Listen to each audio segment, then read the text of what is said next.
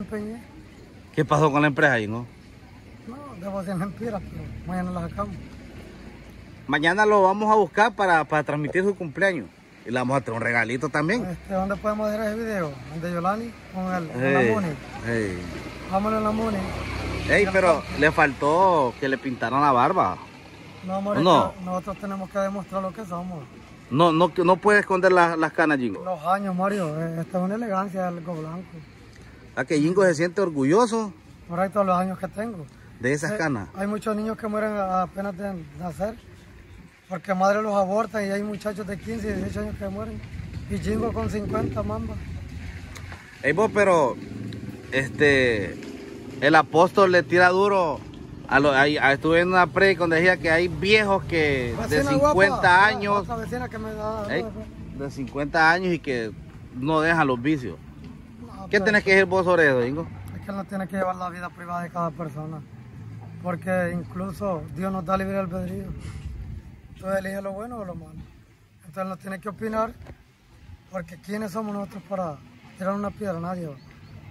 Entonces nosotros no podemos señalar a tal persona porque tenemos que ver nuestros defectos, María. Mandámele un mensaje al apóstol Santiago Zúñiga como que él está aquí de frente viéndote. Dale.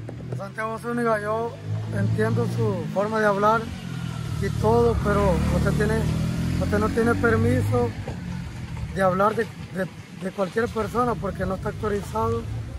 Porque usted quién es? Usted es una persona normal como cualquiera. Usted tiene que respetar la privacidad de cada persona, sea, como sea estudioso o apóstol, o lo que usted piense en su vida. Pero incluso ni Dios nos trata así porque Dios nos ama y Él nos va a juzgar conforme a nuestras obras. ¿Vos crees que, eh, que está bien lo que él se autodomine apóstol? No, eso es de los tiempos antiguos de Moisés. Ay, porque él dice que él es el último apóstol. Es ignorancia de Él en la mente de Él porque dice la Biblia que los designios de Dios ni aún los ángeles saben. Incluso para Dios mil años como un día y mil días como un año. Así es, ¿va? Así es correcto. Entonces Dios, Dios es el eterno y nosotros somos una sombra en esta tierra, Mario. Mira, nosotros vamos a desaparecer de este mapa, desde el apóstol Santiago que él habla y esto y que el otro.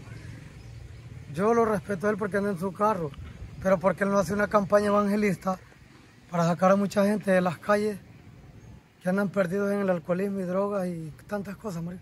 ¿Y por qué no es una, campaña a nivel de Tocoa, en el, en el estadio, no hablando por el carro y que esto y que lo otro? Entonces no tiene amor para el prójimo, para la gente que anda perdida, Mario, en los vicios, en drogas, en robos, en prostitución y tanta pendejada. Porque no hace una campaña internacional para que la gente...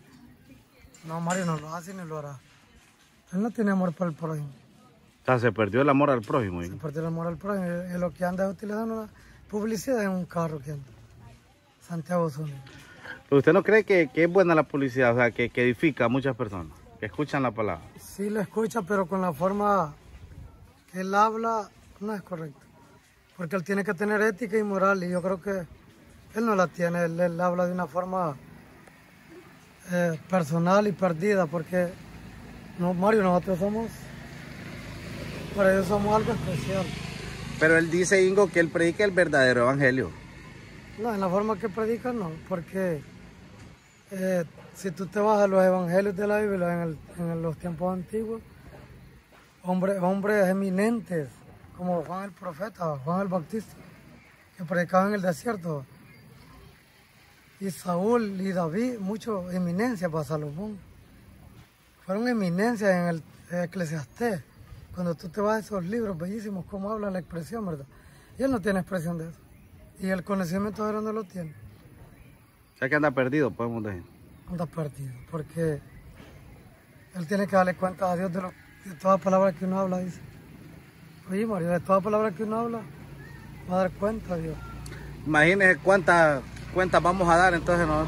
si es por palabra. Pero si nos arrepentimos y, y vamos al camino de la obediencia, a las puertas de. Hay puertas de. dimensiones, pues, otras. Dios nos perdona y no, no se acuerda de nuestras. Nuestro pecado. porque fuimos cambiados.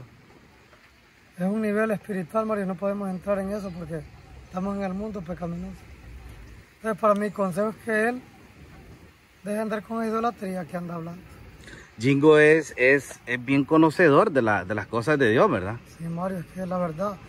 Mira, Billy Graham, ¿quién era Billy Graham? Un talentoso que como 12 presidentes de Estados Unidos ya murió, pero quedó el legado de él.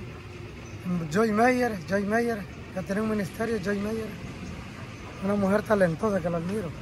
El, el doctor Armando Alducín de México, otro talentoso, entonces no los perdamos, Mario.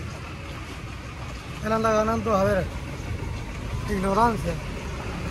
¿Usted cree que se va a repetir la historia de cuando perseguían a los cristianos? Correcto. Ya estamos en nuevos tiempos. La Ya Biblia, estamos. Mario, ahora ya la gente no predica de Dios. Va a las iglesias, por allá, por acá, dispersas.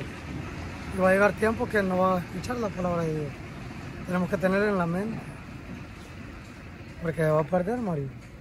Mira la guerra de Ucrania con ese loco satánico de Vladimir Putin. Una guerra sin, sin sentido, le llamo yo. ¿Y que meses- todavía está vigente eso ya? Cinco meses en Ucrania. Todavía. Miles y miles Acá de- nosotros ya estamos armados, pero el problema miles sigue y miles de muertos y, y los países de, la, de Europa que hacen nada, Mario. Entonces, Los despedimos en un chat. Mensajitos ahí para los, para los amigos. Saluditos a los amigos suscriptores. Mañana Jingo cumpleaños. Solo decimos un énfasis de la historia. Pero en otra próxima ocasión Vamos a seguir, sí. hablaremos de lo que la persona nos mande ahí los comentarios. Ok. Bueno, él es el famoso y reconocido Jingo. Miren, miren, me comanda este hombre. Con esto nos despedimos.